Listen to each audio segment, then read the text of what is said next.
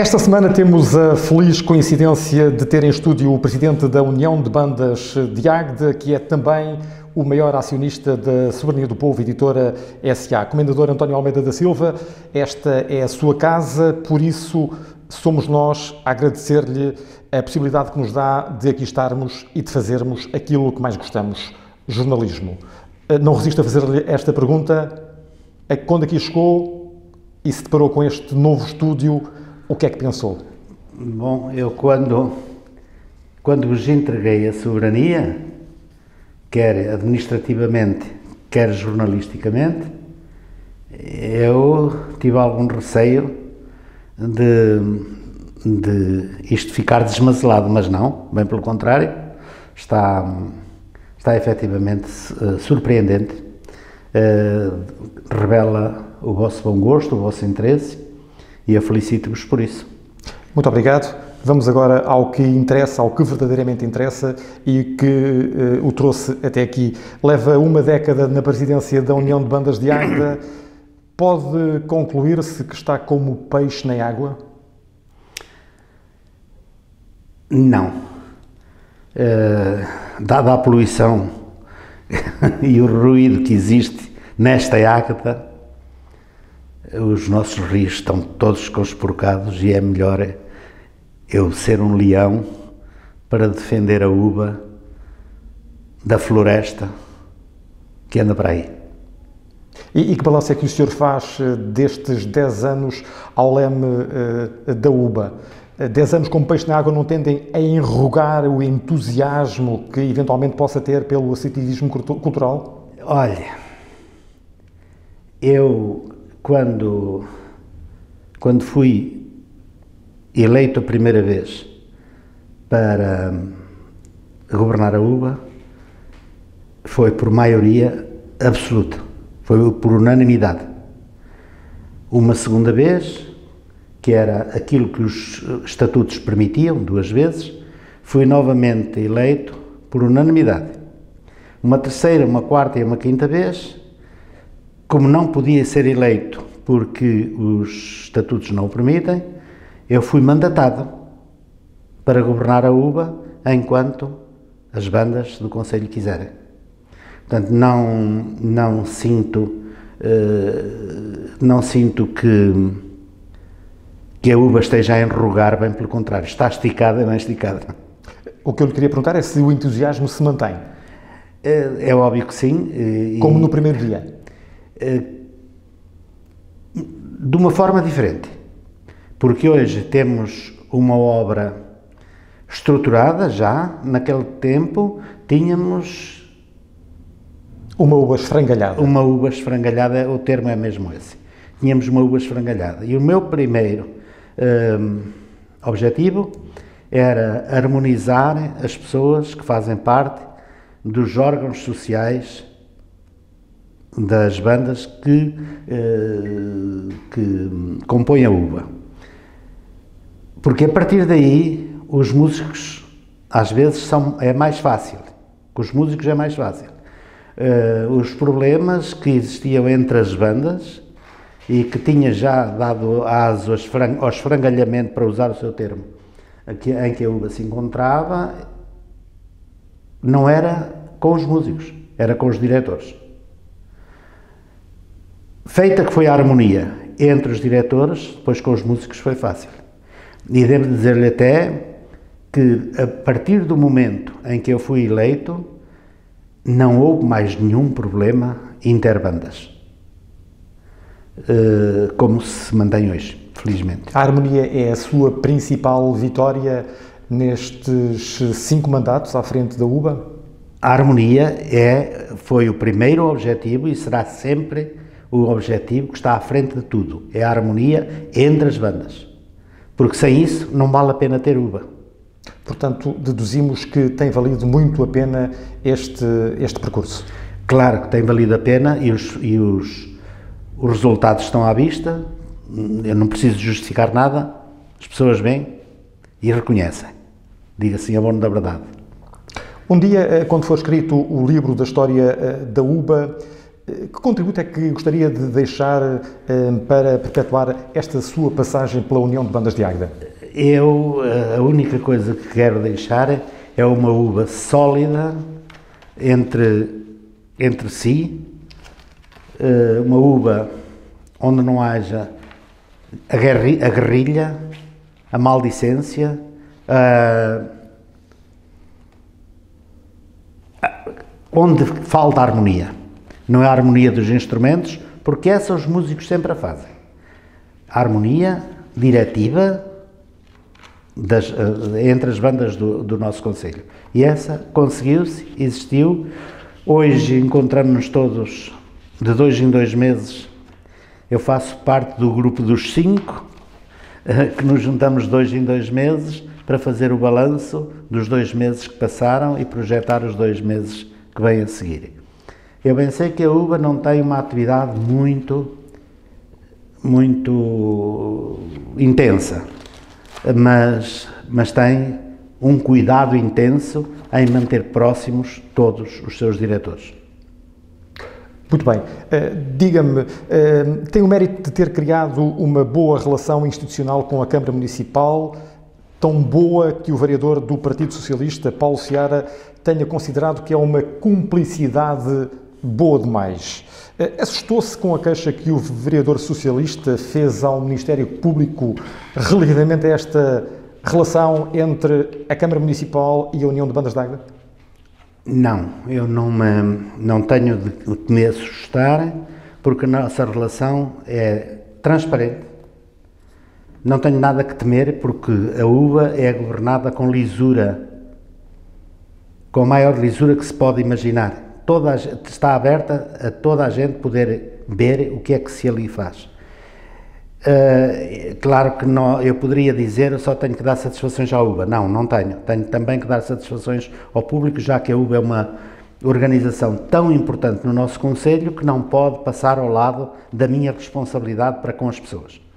No entanto, eu deixo-me dizer-lhe que estes anos todos a relação é exatamente a mesma que a da, estes anos últimos, é exatamente a mesma que a da primeira hora no tempo do Dr. Gil, no tempo do Diniz Padeiro, no tempo do Castro Azevedo, no tempo do engenheiro José Júlio, no tempo dos outros que no, no intervalo estiveram também a, a, governar a Câmara, o engenheiro Eloy e a doutora Nairi, e a minha postura foi sempre a mesma. Nesse tempo ainda não era UBA, mas eu já lidava muito com as bandas e com a Câmara e sempre me habituei a seguir rigorosamente as regras impostas por quem tem o direito de as impor. E a partir daí não tenho que ter medo de coisa nenhuma. Eu lido com a Câmara hoje como lidava há 30 anos atrás, que foi quando a UBA nasceu. Portanto, o senhor, se tiver que dar explicações a quem de direito, e no caso estamos a referir-nos ao Ministério Público, falo-á sem constrangimentos. Estão as portas todas abertas para, para, para o Ministério Público ver o que ele quiser. Uh, não temos nada a temer. Nada, absolutamente nada a temer. Um uh, dos produtos desta boa relação entre a Câmara e a União de Bandas de Águeda é a Orquestra Municipal uh, de Águeda, que vai ficar para a história. Esse, esse era um sonho que nós tínhamos e em determinada altura houve pretensões a fazer uma banda em Águeda. Como havia antigamente? Como havia antigamente, mas tinha que ser de um nível bem diferente, porque as, dois, as bandas de hoje são bastante melhores que eram essas antigamente. E, o, e eu pensei que mais uma banda em Águeda, uh, e logo na cidade, para além de serem bandas, passa a expressão, a mais, os músicos nunca são demais. As bandas podem chegar a um ponto que sejam bandas a mais, não haja assim tanto espaço para elas. Eu uh, entendi que quando tinha a possibilidade de, ao comando da UBA, organizar uma coisa com o nome de Águeda, pensei na Orquestra Municipal. Falei com a Câmara, Câmara acordou e aí está ela todos os anos a fazer um trabalho extraordinário, como está provado, com... e o que é a Orquestra Municipal, no fim de contas, eh, não é para andar aí pela rua eh, a dizer nós somos a Orquestra d'Agda, é para fazer um estágio englobando todos os músicos d'Agda, trazendo um monitor sempre muito credenciado, tanto quanto a gente seja capaz de escolher, para fazer esse estágio e no fim apresentar em público aquilo que já vai acontecendo há seis anos, esta parte. Os músicos já podem ficar a saber com que eh, professor é que vão contar na edição de 2020 ou ainda é cedo? Não, não vamos, já podemos, já podem saber, sim. É o maestro da, da banda da Armada, o professor El, uh, Délio. Muito bem. Vamos à festa. Domingo toda a gente vota UBA. Não teve dúvidas em marcar uh, o festival de 2019 para o dia em que se vão realizar eleições legislativas em Portugal? Não, não porque, primeiro, já não é a primeira vez. Uh, sempre foi assim. Só não foi assim quando as eleições autárquicas calham neste dia. Então aí nós mudamos, porque são eleições autárquicas e até por lei estava dado haver estas manifestações no dia das eleições autárquicas. Fora isso, eleições, uh, eleições uh, legislativas. legislativas ou o Presidente da República não estava dado e sempre fizemos no dia. Portanto, vai, há de tudo correr bem no próximo domingo e tomando em linha de conta que uh, o Festival da Uva vai preencher toda a tarde de domingo, é crível que vá votar da parte da manhã. Já, claro. já pensou em quem é que vai votar? Eu, sinceramente, não me apetecia votar em ninguém. Mas já fez a sua escolha? Já fiz a minha escolha. Eu não, não enjeito as minhas responsabilidades, nunca o fiz nestes 45 anos. Uhum. Nunca, nunca deixei de votar e não, é, não seria este ano que eu iria fazer. No entanto, um, um pouco desiludido uh, com mas isto já vai para lá da harmonia da música. Um pouco desiludido com, com estas notícias que têm surgido umas assim, em cima das outras, uh, o que, que, provam que a honestidade de muitos dos nossos políticos, que não todos, felizmente, anda pelas ruas da amargura. Eu, a, a, a Assembleia da República, na minha opinião, que devia ser a casa do exemplo para todo o país, será o exemplo, mas um mau exemplo. Um muito mau exemplo. E, por isso é que eu me sinto triste. Antes de retomar o, o assunto relativo ao Festival da Uva, deixe-me colocar-lhe aqui mais outra questão.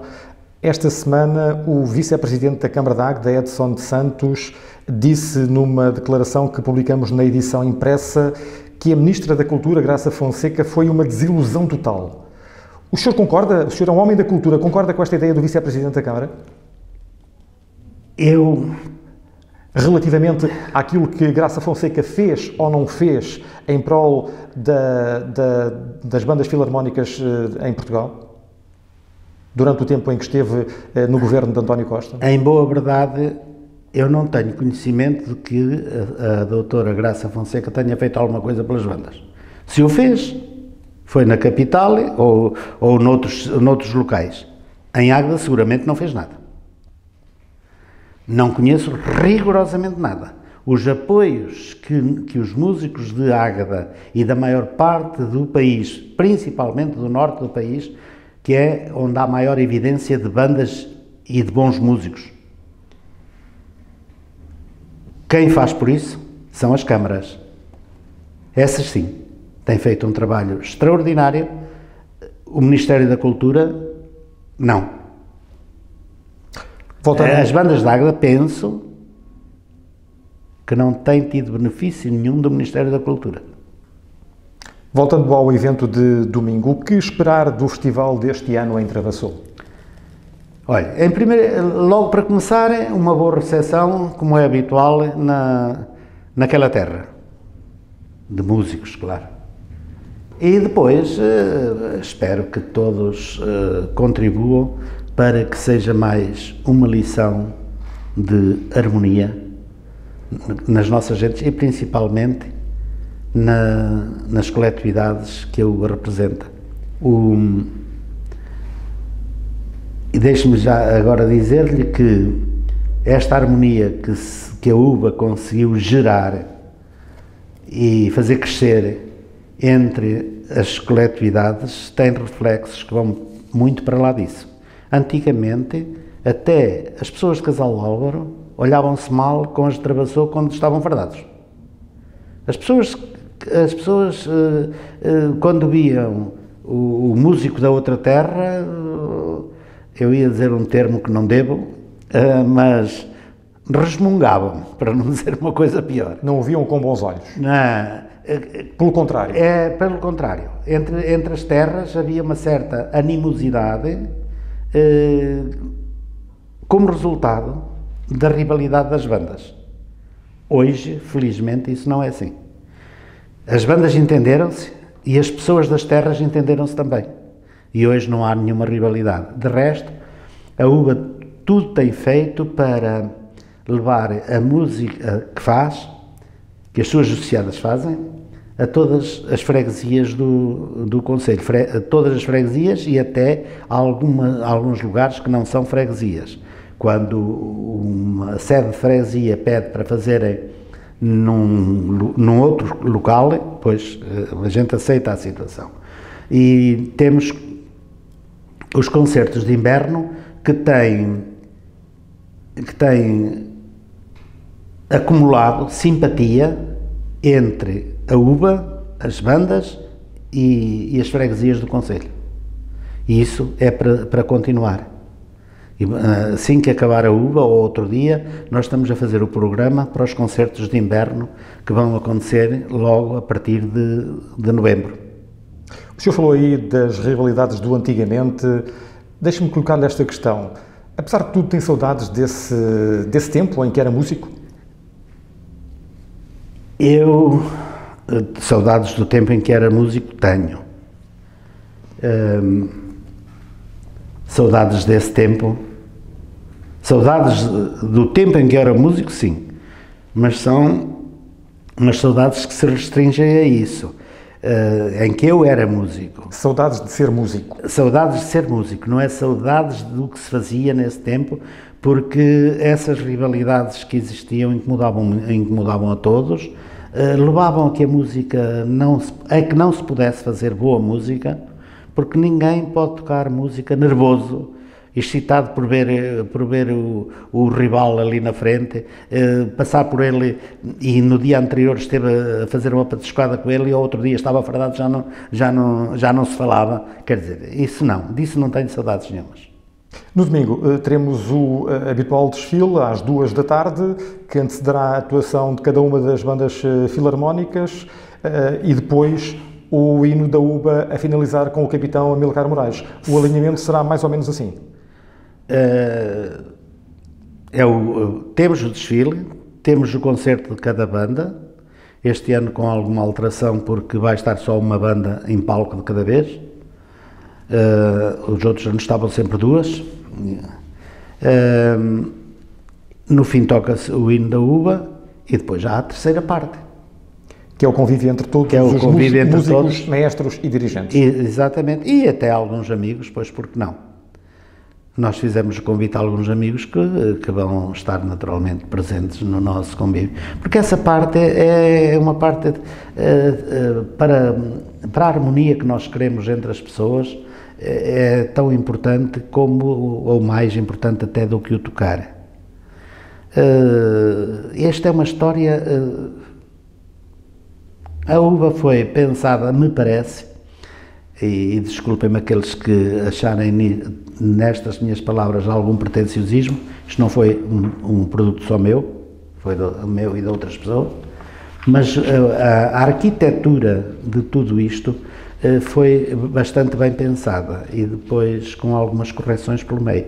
Porque quando nós pensámos fazer um concerto por ano com as bandas todas, eh, logo pensámos em a banda de Travassou ter que ir Casal Álvaro e vice-versa, a banda nova ter que ir ao espaço da banda marcial e vice-versa, a, a, a de Casal Álvaro com a Castanheira, todas envolvidas nas suas terras.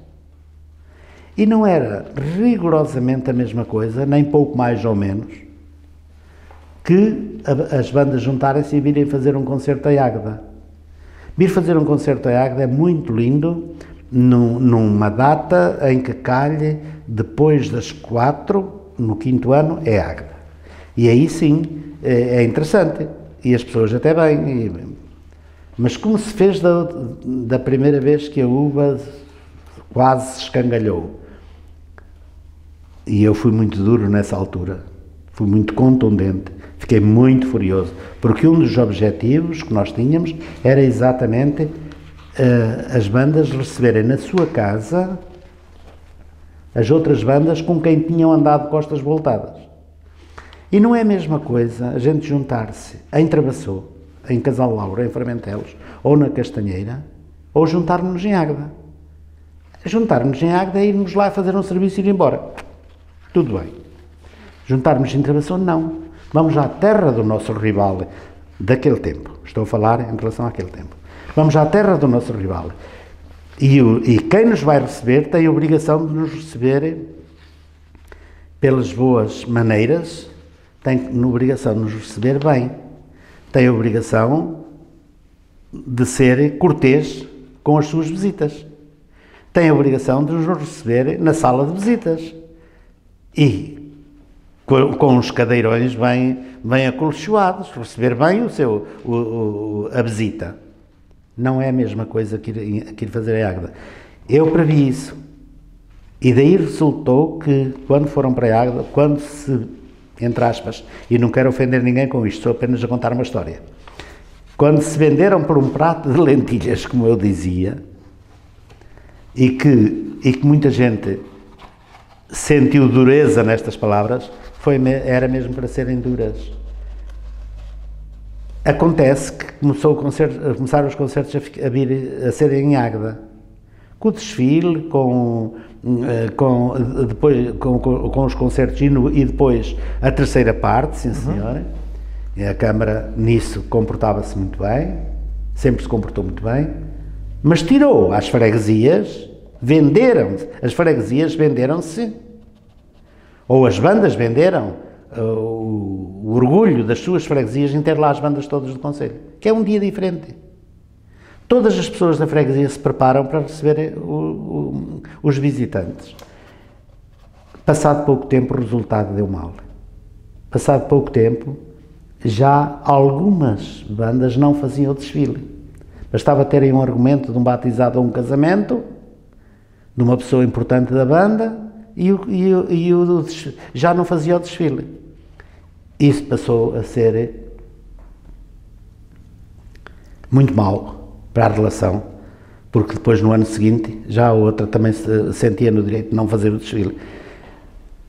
E foi isso que levou a que nós protestássemos, nós fizéssemos o nosso protesto veemente, publicamente, e levou à queda da. E não, e não havia sinceridade entre elas nesse tempo. Eu podia-lhes dar o exemplo que é a questão da, da, da posição dos passos, que em determinada altura aquilo havia uma certa cronologia nas bandas que deviam ir fazer a posição dos passos, e em determinada altura aquilo já cada uma competia com a outra da maneira menos elegante que se pode imaginar.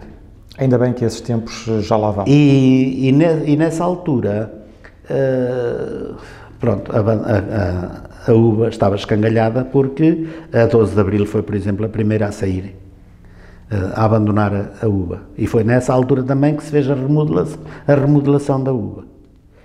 E para mim foi uma surpresa enorme e agradável eh, quando, depois de alterar os estatutos e retirar aos presidentes das bandas o, o direito ou sequer a possibilidade de serem diretores da uva, tirar aos diretores das bandas a possibilidade de serem diretores da UBA, foi aí que começou a ordem na UBA. Porque as bandas, enquanto, eram, enquanto diretores, olhavam para a UBA como, secundariamente. Eles, eles interessavam-se era das suas bandas e já tinham muito que pensar a cuidar uhum. delas. E a UBA era uma coisa que se reuniam ali assim eh, uma vez por ano para fazer, para fazer o festival e a UBA não era mais que isso. Hoje não. E, e exatamente porque nós discordámos disso, é que, é que propusemos que nesta relação que íamos ter no futuro, íamos fazer, íamos também eh, construir a orquestra municipal com aquele tipo de, de elementos e depois mais tarde eh, a orquestra municipal servir para espetáculos até no CAA já e, e daqui para a frente as coisas vão ser, vão ser eh, naturalmente. Hoje temos o prazer de ter um relacionamento com o Conservatório muito bom e ter, ter connosco no mesmo estágio os músicos do Conservatório, e tudo isto faz, faz da UBA e das organizações de Águeda, as organizações culturais de Águeda, uh, serem grandes. Porque cada, quando cada um estiver virado para o seu canto, são sempre pequeninas. Valeu a pena. Muito sinceramente, valeu sinceramente a pena. Com que olhos é que o indefetível adepto da Orquestra Filarmónica 12 de Abril, como é o senhor, olha para as outras quatro bandas filarmónicas de Águeda? Com que olhos? Com que olhos? Nunca tive outros. São, é, são estes mesmos com que iniciei esta, esta hum, conversa. Eu, como responsável da UBA, tenho consciência e sempre tive desde o primeiro minuto, quando me elegeram, que eu não esperava que não, não havia não havia listas eleitorais, não havia nada. Depois de aprovarmos os estatutos, o, a pessoa que foi o Dr. Jorge Mendonça, que, que, que organizou os estatutos, disse: Pronto, os estatutos estão aprovados, agora é preciso eleger uma pessoa para arranjar uh, uh, órgãos sociais para dirigir a UBA. E perguntou um a um e perguntou àquele quem, com quem eu, ao tempo, atenção que isto é tudo refletido nesse tempo e não agora, perguntou a um que era com quem eu tinha os maiores problemas. Eu, porque me doía muito ver uma uva a, a, a, a definhar-se, e ele, porque era o presidente de uma das bandas que se me opunha nessa pretensão de, fazer, de termos uma uva uh, com outro estilo, com e foi ele o primeiro a dizer, foi a ele que, se, que o doutor Jorge Mendonça perguntou, pronuncie se seu fulano, até se calhar por saber o nosso diferendo. E ele disse, eu voto em fulano. Eu fiquei muito surpreendido, tenho de dizer que fiquei mesmo muito surpreendido, e a seguir todos os outros disseram, responderam pelo mesmo diapasão. E nessa altura eu recordo-me perfeitamente que disse, bom, eu quando fiz esta guerra não foi para, para tomar o poder, longe disso. Mas já que vocês me tiram esta responsabilidade para as mãos, eu vou fazer tudo o que puder para que a UBA seja aquilo que nós idealizamos prime na primeira hora. E cá estamos. Portanto, foi há 10 anos, estamos a falar de há 10 anos esta parte. Uh, não, foi mais. Foi, foi, foi há 10 anos, sim. Estamos, estamos no décimo mandato. E os olhos com que o senhor olha para a 12 de Abril são os mesmos ah, olhos com que olha para a ver se as outras esquece, Estava a ver se esquecia disso. Bom, eu peco às vezes e acusam-me disso de ser duro, rigoroso. Mas é essa dureza, esse, essa, esse rigor que me permite olhar para todas as bandas da mesma forma. Se me perguntarem, então, mas de qual mais gosta? Oh, essa é uma pergunta que não se deve fazer. É como perguntar os anos a uma senhora. A uma senhora. Não, não se deve fazer. Uh, está implícito. Mas o que tenho a certeza absoluta, e digo aqui para toda a gente que está a ouvir, que ouça bem, é que a 12 de Abril nunca foi beneficiada num milésimo. Num milésimo, seja do que for. nunca foi beneficiada em nada. A primeira vez que eu tive que, que chamar a atenção a alguém que se comportou mal foi de 12 de Abril. No final deste mandato estará na casa dos 80 anos de idade. Nessa altura será expectável que passe mais tempo na sua casa de praia e que passe a pasta da uva? Bem, a praia onde eu me sinto bem é, é, é com os músicos. É na Praia da Música? É na Praia da Música. Mas eu não sei o que é que vai acontecer, porque você sabe que a, a partir de um determinado momento nós não queremos envelhecer nunca, mas começamos a sentir que sim. Começamos a sentir a velhice. Não, isso não. E não vale a pena a gente armar-se em fortes. Ela chega já à porta. Já chegou a outros antes e, e a nós também vai chegar. Há dois fatores que levam a que eu vá para a praia ou não. Primeiro é a vontade daqueles que andem e elegerem o próximo presidente. E o segundo é a minha saúde permiti-lo. Nada mais altera isto. Porquê? Porque nada mais altera, porque olha, o nosso entendimento é perfeito.